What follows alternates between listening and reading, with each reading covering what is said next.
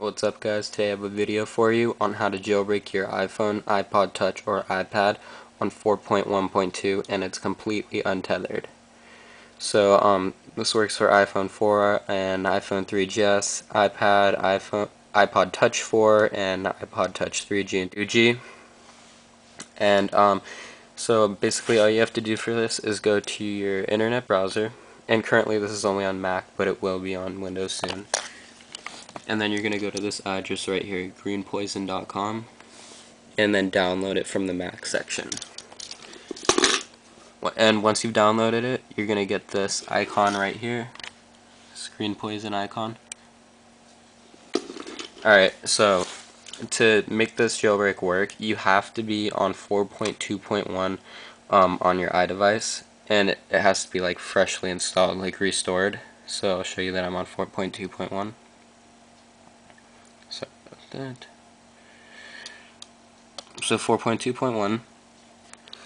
Alright, so now I'm going to set the camera down so I can show you guys the rest. So you're going to want to click on the Greenpois0n icon.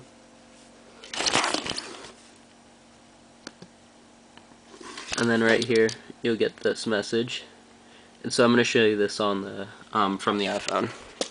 But basically just do the same thing.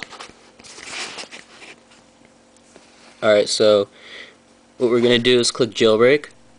Or actually, make sure to turn your iPhone off first, or whatever iDevice you have, make sure to turn it off. It makes it a lot easier. Alright, so once your um, iPhone or whatever is off, click on jailbreak, and it's telling me to hold the sleep button. And then press the home and the sleep button for 10 seconds and the clock is on the application. Now let go of the sleep button while continuing to hold the home button just until it tells you to stop or it says jailbreaking.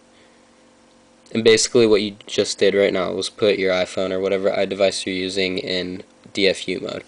So now you can let go of the home button and then you can see right here it says jailbreaking. You'll see the screen turn white and it will start entering all the code in.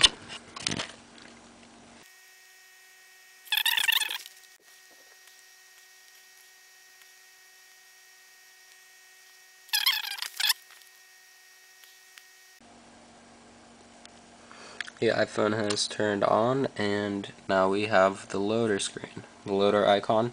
So go ahead and click on that. Or actually you might want to connect to Wi-Fi before you do that just because it'll make it faster. But let me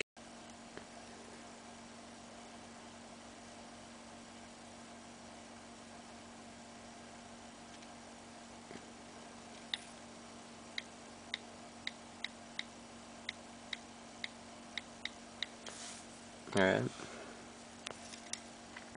Alright, so now you're going to click on the loader icon.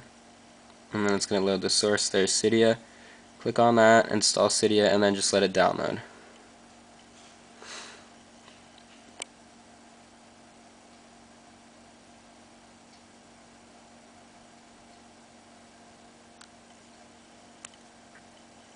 And there you go. If you don't see the Cydia icon, all you have to do is simply restart your iDevice and that's all.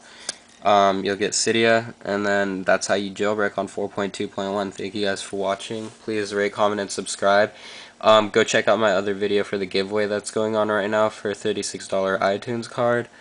Uh, check out my website. Thank you guys for watching, um, and have fun with your new jailbroken device.